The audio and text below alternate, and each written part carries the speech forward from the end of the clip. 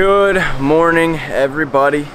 Today officially starts day one of bringing this 1955 boat to life. Today we're not going to be spending too much time on the boat itself. I think we're going to tackle the trailer today. The goal is to get this entire trailer stripped of its paint and freshly painted with new paint.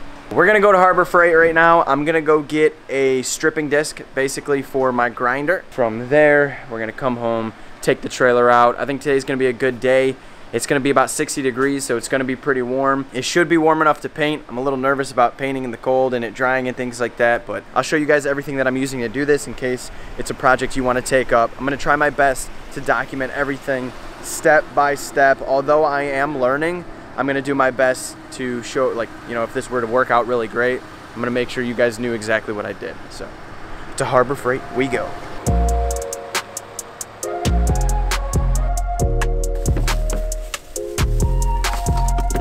So we are back from Harbor Freight. I'll show you guys what I picked up here. Right here, I have a grinder. I'm gonna use this to get all the old paint and rust off of the trailer. The trailer's in it's, it's in good shape, but the paint job and the rust isn't the best. So hopefully we don't find any underlining issues when I do take the paint off. But if you guys wanna know what I'm using on my grinder, I don't know a ton about this stuff, but I did a little bit of research. When it comes to the wheel that you're using on your grinder, make sure you get the correct one. The one that I'm using today is a polycarbide abrasive wheel. This one is specifically made for removing rust, paint, and flaky material. So I'm gonna go ahead and use this. You don't wanna use anything too rough. You can actually damage the trailer if you go about doing this wrong. So make sure you know what you're doing. If you've never used one of these before, make sure you're safe with it. Wear gloves, wear eye protection. I also picked up some of that today. You know, I'm not an expert at this, but I do know how to do it. There's a good chance I'm gonna have to take the trailer apart. There's a lot of lights and things on it. I haven't really decided what I want to do yet, so let's pull the boat out, bring it out into the front yard, and uh, see if we got to take it apart before we start ripping the paint off.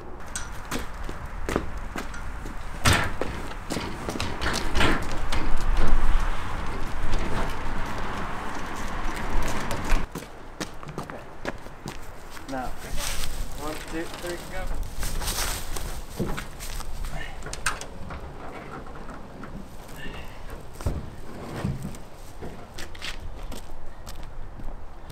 So we took the boat off the trailer. I flipped it upside down over here. I threw it on some pallets to keep it elevated. If you guys want to see the bottom, in case you were curious, this is what the bottom looks like.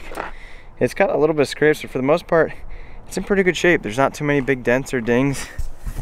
There's one little gash right here that I don't love, but I don't think it's a huge deal. I may fill that. But uh, for the most part, it's in pretty decent shape. There's nothing too crazy wrong with it. I'm probably gonna have to take a few things off this trailer though I'm gonna do my best to work around it. Like I'm probably gonna take off this guy right here at some point. Probably gonna take this guy off here. I gotta take all this nonsense off as much as it's gonna be a pain in my butt to get off. The only way I'm gonna be able to strip it of all the color is if I completely do that. So pretty much I just gotta dismantle this thing. I'm probably gonna take the fenders off.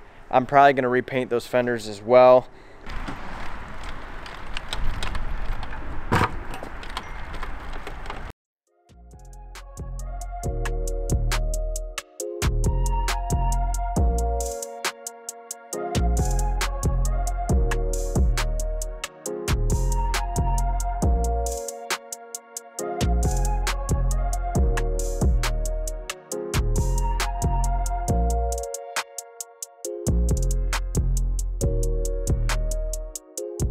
I'm gonna give you a little update here. Your boy's a little frustrated, but it's kind of what happens when you get into projects like this. So I've been kind of just grinding away trying to get this trailer taken apart. This has been painted over a time or two. I don't know who painted this before me, but they must have just full out painted it. They didn't take anything into consideration. They just put some yellow paint over it and that was that. So long story short, I've been here for like two and a half hours trying to break bolts I've been trying to apply heat to them and get them to work. It's not working. So what we're gonna do here is I have a buddy that's gonna help me out and provide me with some tools that are gonna help me get these off easier because I have limited tools where I'm living right now. So in the meantime, I'm gonna start, you know, grinding away at this thing, shaving some of the paint off because the majority of the first half is done but uh, you know I need some tools to get these bolts off I mean they literally painted over every bolt to give you guys a gist of what I've been going through as you guys can see here these are what the bolts look like. I mean they are just painted in there. Dropping my water bottle whoops. They've completely painted over the majority of everything like literally everything. So I've been applying as much heat as I can with a blowtorch to try and break the bolt just a little bit but it's just it's it's been a mess. When I used to do projects I would do it at my father's house and I don't live with him anymore, so you know it's not as easy to go get tools. I have very limited stuff here, but it is enough to get the job done. These bunks, they look like crap. I'm gonna get rid of these in general. Uh, probably make new ones completely. They're just, I don't know, they're kind of jimmy rigged for the most part, but I don't know what the heck they were thinking with this trailer. I mean, that is like the ugliest paint job on a trailer, and uh, you know, unfortunately, I can't even tell you what it might have been prior because I'm about to grind it all off. Another thing that I'm gonna have to completely redo, which I kind of figured as much, but I was hoping I wasn't, was the wiring. They just did the weirdest wire job when it came to this. I mean, it is spliced and changed in so many different directions. It is just, it's just, it's junk. So, you know, you got a ground wire just dangling here. I mean, you got a lot of corrosion, a lot of rust and stuff like that. This thing needs to be cleaned. If there's one thing you want when you're driving around with a boat, it's a good trailer never want something sketchy. So the front half we're gonna work on right now. The sun is starting to go down. Hopefully I can get the majority of the trailer sanded off, cleared off, and then we can get the bunks off.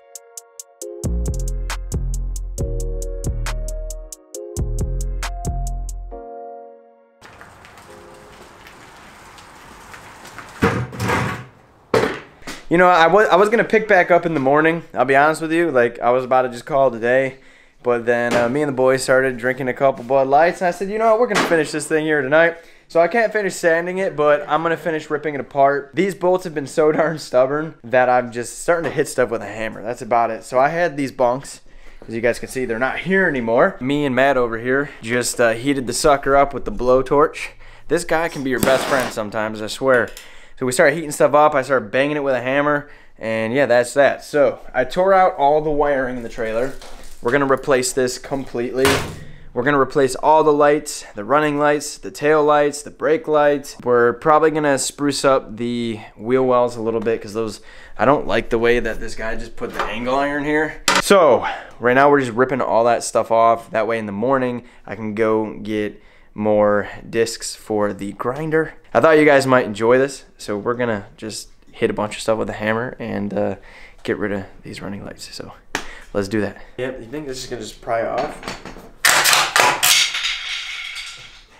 Hot dang, boy! oh my god, I'm an idiot. Well, uh, yeah, you probably. I could have just popped it. We're just gonna cut this part out.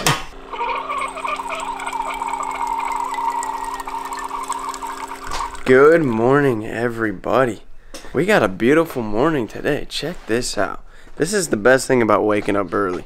Well, this video is not really doing you justice, but it's about 8 o'clock. I actually had a really late night last night. A few beers later with a couple of my buddies, I decided to just really go in on this trailer. So I'm kind of hell bent on doing this thing 100%, like doing it the right way. So I spent a lot of time just ripping things off. I was going to show you guys everything on video, but honestly, you probably just don't want to watch time lapses for an entire video. And honestly, it's not the easiest thing for me to edit either. So here's where we're at as of this morning. The trailer is ripped apart. Let me put my coffee down. As you guys can see, I actually took the entire tongue off of the trailer. We dismantled that. The reason that I took this off was because on the bottom side right here, it's got paint.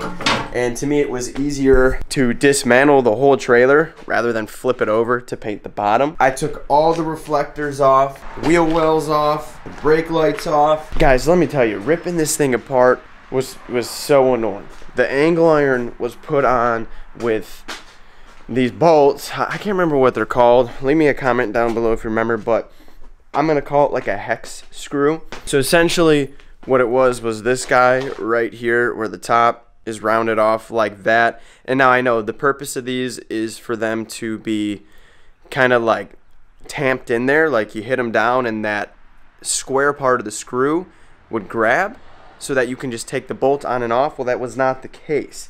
These were put in such a big hole that they were just free spinning and there was no way to grab them because they had angle iron all the way around them. Now, as you guys can see right here, this is kind of what kept happening. It's just like metal spinning. So today I gotta get a blade for the grinder so I can cut that off. Yeah, that's that. So the only other thing that I think we might do today, which again I don't even know if I'll be able to do, but I may take the axle off of the trailer so that I can paint it. I'm about to go bare naked with this thing just for it to be easier to paint. I don't know if I'm gonna be able to break the bolts on the axle for, I'm basically gonna dismantle them at the leaf springs, or at least that's my idea.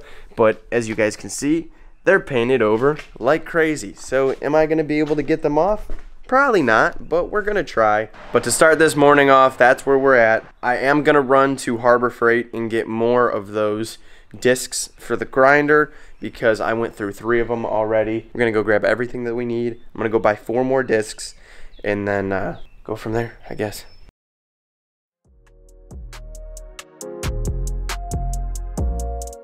So we are gonna get to grinding on the neck of this trailer and then after that we're gonna pull the rest of the trailer out. We're gonna take it off of the axle and we're going to start sanding that thing down. I just got back from Harbor Freight. I ended up picking up a few more discs for the grinder. I've been trying to do this whole project with limited tools simply because a lot of people think you can't do like restorations if you don't have a workshop or you don't have the right tools. The right tools definitely help, but there's no reason you can't get it done. You just got to do a little more thinking. I put it up on horses this time simply because yesterday my back was killing me hunched over the whole time. This is going to put me at like a comfortable level so that I can do some grinding. It doesn't really matter at this point, but this trailer was definitely not stored inside. I can tell you that right now. That might be why it has so much of this paint on here is because it started to get gritty, it started to rust. When I picked up the neck of this trailer and dumped it out, there was enough nuts and leaves in there to feed a family of squirrels. So it looks like this was a home to a squirrel. Good news is there's almost no wind today. It's gonna be like 65 degrees today. It's a beautiful spring day, so painting is gonna be a success so long as I get this all done.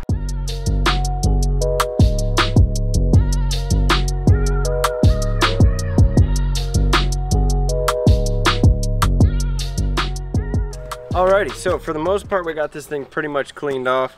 We're gonna have to go back and put a degreaser on pretty much everything. The only thing I could find at the store by me was grease lightning. It should do fine. I'll see what difference it'll make. A degreaser is a degreaser. I'm gonna spray this on here just to show you guys because it's actually covered in dust. But uh, we're gonna have to wipe this thing down real good. I mean, if you could see like how much dust is actually on here. So we're gonna have to get this thing rubbed down. You don't wanna use water when you're doing this because water is just gonna make the rust problem way worse. Uh, I know some people like to scrub it down with soap and water, but I just go straight to greaser or something that's gonna really get this stuff off of there and dry real nice. From here, we're gonna do the rest of the trailer. I couldn't get it all perfect. So as you guys can tell, there's a lot of grit in here, a lot of yellow spots. It's gonna be hard to get this almost perfect. When I'm done with the majority of the trailer itself, what I'm gonna do here is I'm gonna go through with a drill and a wire brush and try and get those little spots out the best that I can. But at the end of the day, that should cover with primer. You can only get it so perfect with it being as old as it is. Holy crap, this paint stuff. I'm trying to wear a mask, you know, because I don't want to breathe in all this crap. I don't have a respirator, which I should. I know I really should. I'm sure some of you guys are like, oh, well, this guy. But at the end of the day, it's not the smartest thing to be doing, but this helps a little bit. So at least I don't breathe in all of it. If you have the resources to do so, go get like an N95 respirator, something you can breathe through, something like that. So we're going to go in the garage and try and rip the, uh, the son of a gun off the axle.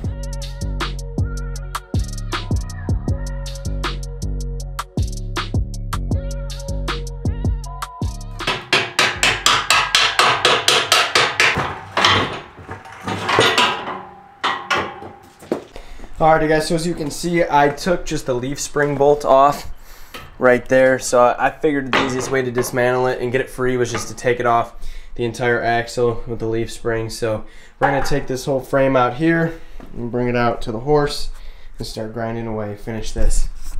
Once we are done with that, we can go ahead and start painting after we wipe everything down. So we're making progress today, boys.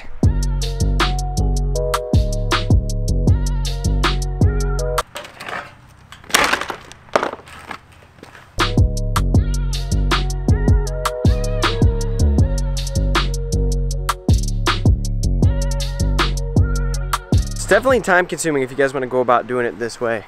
So I ran out of the discs that I was using. So these polycarbide abrasive wheels, these are the best way to go. I'm gonna tell you that right now. They take that paint right off, although it's a little more expensive because they're about five bucks a pop and they only last for maybe a half hour, but it's better than using a wire brush. So I pretty much bought everything that they had at my local store for the uh, Harbor Freight. But I started using the wire brush and it worked, but it took a lot longer because it took everything off in layers. And it, well, I, there's a lot of shrapnel that comes from it. The wire brush, I'm not kidding you. I, I felt like I was getting hit by stuff. Now, don't get me wrong. When you, you know, you're doing this stuff, obviously you're gonna get some kind of shrapnel, right? But I mean, like, look at this. Literally, I don't know if you guys can tell right here, but there is just, I've been shot at like arrows everywhere. They're just, it's just like, ow. It low-key hurts. Like these things will legitimately just shoot into your skin and it does not feel good let me tell you so now I got to go basically de-splinter myself I have the entire trailer completely stripped as you guys can see it is dusty it needs to be cleaned but I have the whole thing about as stripped as it's going to get now the only thing I did not do was the inside of the trailer. The reason I haven't done the inside of the trailer is, well, I really wasn't able to. I could not get a disc or a wheel for the grinder that was small enough to fit in there and they made a little one that was for a drill but i would have spent an arm and a leg on the amount i would have needed because they were just really small ones. They were just really minor ones. They weren't made for doing stuff like this. So i ended up buying another brush to clean the inside I think just we're gonna have to bite the bullet on this one. Luckily it's the inside of the trailer. It's not gonna be seen that often except for really when the boat's not on it. So here's what we're gonna do. We're gonna clean up the outside a little bit more and I'm gonna take a little brush to the inside just to get it dusted off and cleaned. We're gonna degrease it and then we're gonna go ahead and put the primer on. So it's not 100%, but it's about as darn good as it's gonna get. The other thing, and leave a comment down below if you guys have a resolve to this, is I'm really trying to salvage the information on the trailer. So if you guys can see right here, it's Dilly Trailers. It's got the date, 1976. It's about to come off. It's got the serial number. I want to keep all the original stuff on there, but this is just not going to cut it for looks and things like that. Is there a way that I can get a new sticker made? Is there a website where you can send a picture in and they'll recreate the label for you? Yes, I know it's not original, but I do want to keep the important information that I need on there. So please let me know in the comment section down below if you guys restore stuff. Like, is there a way that I can get a new sticker made for this so I can grind that off or, or put something over top of it? I don't know if I should grind it off and just try to figure that out or if I should paint over it. I don't know. I might do research before I go ahead and put the paint on, but at the end of the day, I might just have to tongue pile that sucker off.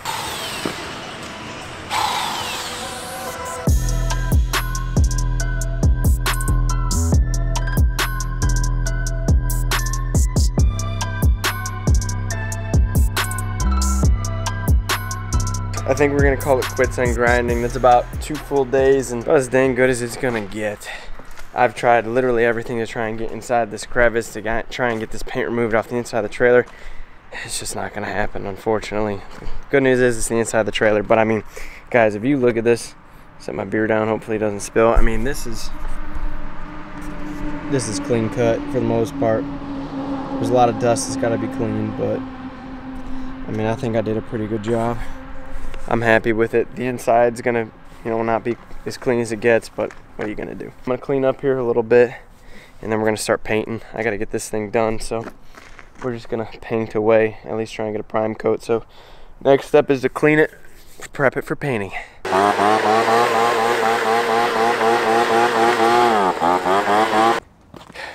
That leaf blower is trash. Does not work unless you just feather the choke. Makes no sense. So what I'm doing right now is I'm taking this stuff right here. I can link it down below too if you guys want. I'll link everything down below as I do this. If you're curious what I use product wise and stuff like that. All we're doing is we're degreasing everything I'm prepping it the best I can to get it ready for paint. If you really want that paint to adhere, gotta get that thing clean. Again, I, you don't really want to use water. You don't want to cause more rust, but this thing should clean up pretty well after I'm done. So we're gonna do that real quick and hopefully get some paint on it tonight.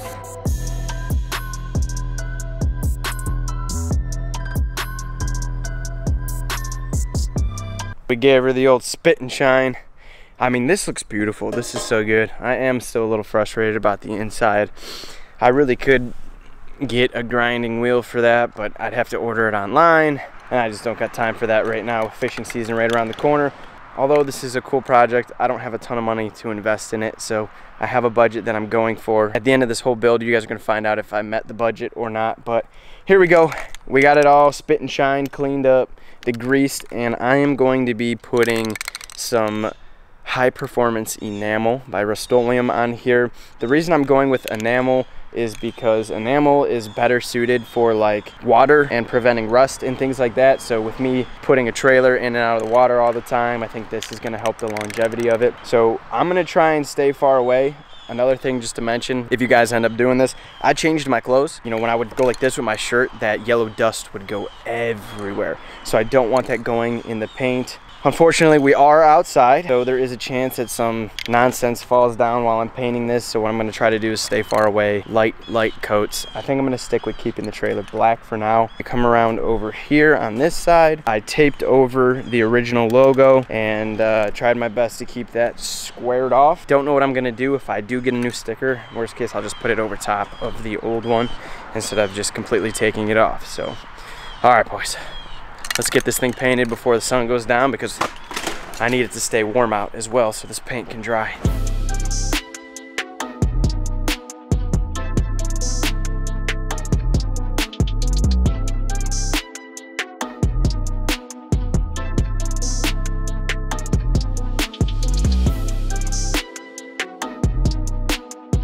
Shoo!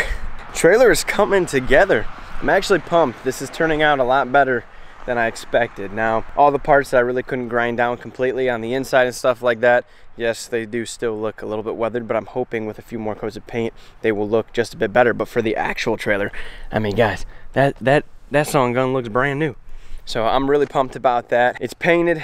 I have about a coat and a half on here. I have one, basically one and a half cans. I'm gonna let it chill like this for a while. I don't think I'm gonna put any more paint on it tonight because I have to flip it over to paint the other side. And since I have to do that, I don't wanna risk any paint flaking or anything sticking to what it is sitting on. So essentially what I'm gonna do is paint this top half, put as many coats as I can. Tomorrow I'm gonna come out here and I'm gonna flip both pieces over and then do the same amount of coats on that side. So the goal is to put three full cans of enamel on this or one full can of enamel and then paint and primer. I don't really know yet, whatever looks the best, I guess, and whatever is the most protectant. So far, I'm really happy with the look. It looks really good. As you guys can see in some spots down over there, I don't know if you can really see that, but still see a bit of yellow and that's simply because I don't want to just try and blob up the paint by going under there. One thing that makes this look really good that I've learned was just this actually my dad taught me this just a swift back and forth when you're painting keep it light and it's better to do more coats light than just to mob it on there because the paint job will not look good. You can actually make spray paint look really really well if you put it on correctly. So with that being said I'm gonna put an end to this video right here. It's been a long two days. So if you guys want to keep up with this build do me a favor hit that subscribe button right now and uh, next video you know the beginning I might be painting the trailer I don't know we're gonna start working on the boat. Now, I might paint the boat first. I would like to get out and water test it. If I can bring this thing to a pond and get it in the back of my truck, I would like to do that. I have a friend with an F-250, so we might be able to put the whole thing in there. Let me know what you guys think I should paint this boat. Like what color should I do it? Should I leave it blue? Should I paint it white? Should I do some kind of crazy decal design? I don't know really what I want to do with it yet. Odds are it's going to be white at some point because I have to prime it if I'm going to paint it a color. So maybe if I like it white because it'll match the truck over there, but I don't, I don't know. Leave me a comment down below what you guys think I should name this boat and what color you think I should paint it. Other than that, thank you guys so much for watching and we'll see you in part three.